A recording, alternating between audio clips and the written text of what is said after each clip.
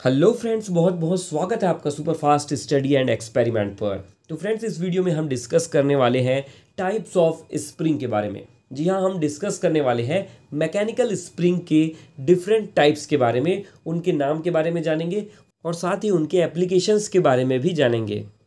तो फ्रेंड्स, ऐसे ही industrial technical videos mechanical engineering field से रिलेटेड वीडियोस इस यूट्यूब चैनल पर मैं अपलोड करता रहता हूँ। वन थाउज़ेंड से ज़्यादा वीडियोस जो हैं अब तक मैंने अपलोड कर दी हैं और मैं रेगुलरली नए नए वीडियोस जो है वो अपलोड करता रहता हूँ। अगर आप मेरे चैनल पर नए हैं तो प्लीज़ इस वीडियो को लाइक करें और चैनल को सब्सक्राइब करके बेल आइकन को ज़रूर प्रेस कर लें ताकि हर एक नए वीडियो का नोटिफिकेशन आप तक पहुँच पाए। तो फ़िलहाल इस वीडियो को स्टार्ट करते हैं। बने रहिएगा वीडियो में अंत तक। तो सबसे पहला हमारा जो है, वो है हेलिकल कंप्रेशन स्प्रिंग जिसे कि कंप्रेशन हेलिकल स्प्रिंग भी कहा जाता है। ये एक एनर्जी इफिशियंट स्टोरेज डिवाइस है और इसे ओपन कॉयल हेलिकल स्प्रिंग के नाम से भी जाना जाता है।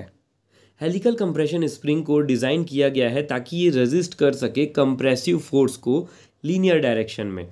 जैसे ही हेलिकल कंप्रेशन स्प्रिंग के ऊपर कंप्रेशन फोर्स अप्लाई होता है लोड उस पर लगता है, वो कंप्रेस हो जाता है और जैसे ही लोड यहाँ से हटेगा, ये वापस अपने ओरिजिनल पोजीशन पर पहुँच जाएगा। और इस तरह के स्प्रिंग्स का इसलिए ज़्यादातर इस्तेमाल शॉक एब्जॉर्वर्स में भी किया जाता है, जैसे कि आपने शॉकअप्स में देखा होगा। बाइक के शॉकअप्स में, है ना? आपके फोर व्हीलर्स के शॉकअप्स में इस टाइप के स्प्रिंग का इस्तेमाल किया जाता है, और भी बहुत सारे एप्लीकेशन हैं इसके। दूसरा टाइप है आपका गार्टर स्प्रिंग गार्टर स्प्रिंग कुछ इस तरह से दिखता है, जैसे कि आप इमेज में देख पा रहे हैं, और ये पूरा दोनों एंड इसका जो है वो आपस में कनेक्टेड रहता है, यानी कि कोई भी एंड इसका फ्री नहीं होता है, ये पूरा स्प्रिंग है जो कि सर्कुलर शेप में होता है।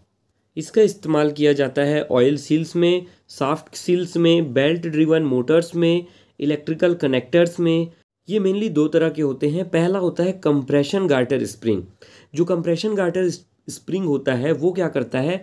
एग्जर्ट करता है आउटवर्ड रेडियल फोर्स यानी कि बाहर की तरफ़ रेडियल फोर्स अप्लाई करता है, जबकि एक दूसरा होता है एक्सटेंशन गार्टर स्प्रिंग तो जो एक्सटेंशन गार्टर स्प्रिंग होता है, वो एग्जर्ट करता है इनवर्ड रेडियल फोर्स जो आपके ऑयल सील्स में लगा होता है, वो लगा होता है आपका एक्सटेंशन गार्टर स्प्रिंग ये इनवर्ड रेडियल फोर्स लगाता है, जिसकी वजह से ऑयल सील शाफ्ट की तरफ़ दब के लगी हुई होती है। नेक्स्ट है आपका हेलिकल एक्सटेंशन स्प्रिंग तो देखिए, ये कंप्रेशन स्प्रिंग के जैसा ही है, लेकिन थोड़ा सा इसमें जस्ट अपोजिट है। हेलिकल एक्सटेंशन स्प्रिंग जो होता है, वो रेजिस्टेंस ऑफ़र करता है एक्सटेंशन पर। यानी कि जब हम इसे एक्सटेंशन करेंगे एक्सटेंड करेंगे, बाहर की तरफ़ फोर्स लगाएँगे तो ये अंदर की तरफ़ फोर्स लगाएगा। यानी कि ये एक्सटेंड होना नहीं चाहेगा। अगर हम लोड करके लोड अप्लाई करके इसे एक्सटेंड करेंगे, और जब लोड रिलीज़ होगा तो ये वापस अपने पोजीशन पे रिगेन कर लेगा। इसका एग्ज़ाम्पल है, आपने बाइक के स्टैंड में इस तरह के हेलिकल एक्सटेंशन स्प्रिंग को ज़रूर देखा होगा।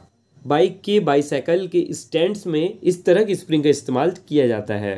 नेक्स्ट टाइप है आपका टॉर्सन स्प्रिंग तो जो टॉर्सन स्प्रिंग होता है, वो कुछ इस तरह से दिखता है और इसे वायर से बनाया जाता है स्टील वायर से, जो कि वाउंड होता है एक स्पायरल शेप में, जिसका एंड जो होता है, एक एंड जो है, उसे स्टेशनरी एक पॉइंट में फिक्स कर दिया जाता है।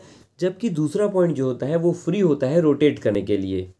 तो एक तरह से हम ये कह सकते हैं, ये टॉर्क को स्टोर करके रखता है है ना? इस तरह के स्प्रिंग का इस्तेमाल डोर्स में किया जाता है। डोर्स जो ऑटोमेटिकली क्लोज होते हैं वहाँ पर। घर में जो कपड़ा सुखाने के लिए क्लिप आप यूज़ करते हैं, उसके अंदर भी ऐसे ही तरह का टॉर्शन स्प्रिंग लगा होता है। इसके अलावा और भी इंडस्ट्रियल इसके बहुत सारे एप्लीकेशंस हैं, बहुत सारे इक्विपमेंट्स में। नेक्स्ट जो है, वो है लीफ स्प्रिंग तो देखिए लीफ स्प्रिंग जो है वो सिंपल फॉर्म है स्प्रिंग का, जिसका सबसे ज़्यादा इस्तेमाल किया जाता है सस्पेंशन के लिए व्हील्ड व्हीकल्स में। आपने देखी होगी, जितने भी फोर व्हीलर्स होते हैं, जो हैवी लोड लिफ्ट करते हैं, है ना?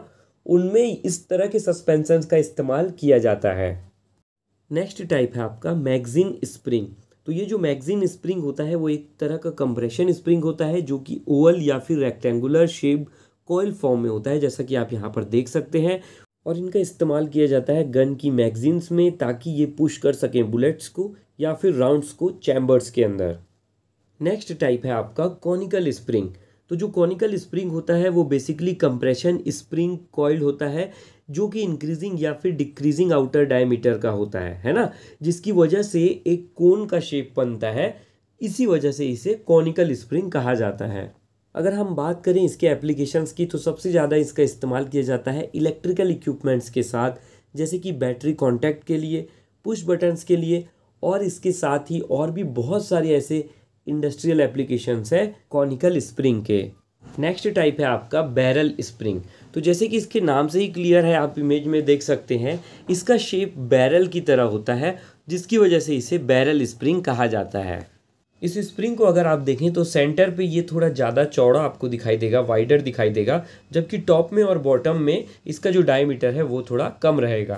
नेक्स्ट टाइप है आपका hourglass shaped compression spring तो जो हर ग्लास शेप जो होता है, वो जस्ट अपोजिट है कॉन्केव शेप के। यहाँ पर जो सेंटर है, वो कम डायमीटर का है, जबकि इसके दोनों एंड जो है, वो ज़्यादा डायमीटर्स के हैं। नेक्स्ट टाइप है आपका variable pitch spring variable pitch spring यानी कि नाम से ही क्लियर है। यहाँ पर जो स्प्रिंग है, उसका पिच जो होगा, वो वेरी करेगा। यानी कि कहीं पर दो कॉयल के बीच का डिस्टेंस जो है, वो ज़्यादा होगा, कहीं पर कम होगा। यानी कि वो वेरी करेगा। और इसीलिए इसे वेरिएबल पिच स्प्रिंग कहा जाता है।